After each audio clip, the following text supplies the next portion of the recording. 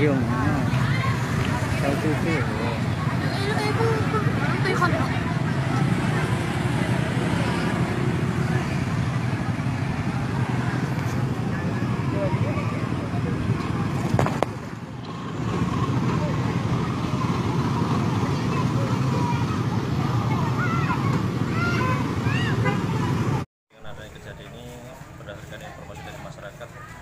ada yang mengatakan bahwa kejadian antara sholat dengan komat ya, karena kan ya jam 12 an ya kalau ya? Sudah jam 12-an. 12 ya untuk sementara eh, dengan adanya kejadian ini tim dari pemadaman mungkin hitungan menit juga langsung bisa meluncur ke sini.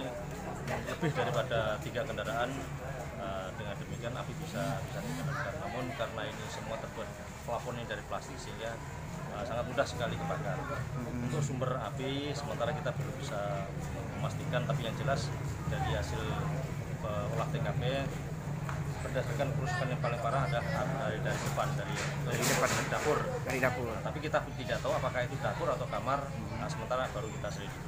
Nah, sementara dalam kejadian ini Alhamdulillah tidak ada korban jiwa namun untuk sementara ini Pak Haji karena kondisi seperti ini dia masih dalam keadaan belum stabil sehingga masih perlu istirahat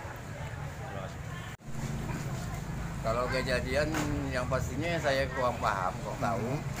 Tapi eh, kira-kira jam 12-an saya diberitahu oleh anak saya Ya. bahwa ada kebakaran tempat haji mukminin. Saya langsung meluncur situ. Nah, jadi ya namanya kita sebagai ketua RT Ya. tetap sikap dalam hal itu. Hmm. Nah, jadi ngambil ember, nyiram dan sebagainya. Dan 15 menit kami menyiram pakai ember, pemadam pun datang. Hmm. Nah, jadi diteruskanlah oleh pemadam dan kami Iya. pun sehat. Oke. Sudah besar, Di- sangat besar sekali. Di belah mana ya, Pak? Belah belakang. Oh, belah belakang. Belah belakang yang paling besar. Saya masuk ke dalam, OP-nya api itu habis udah nyebar. Nyebar ke dalam. Pemadam kebakaran cepat datang, jadi sehingga bisa diselamatkanlah bom api yang bisa diselamatkan. Aspan Munardi. Aspan Munardi. Ketua RT berapa, Pak? Ketua RT 009 RW 004 Kelurahan Sungai Karam Kidul.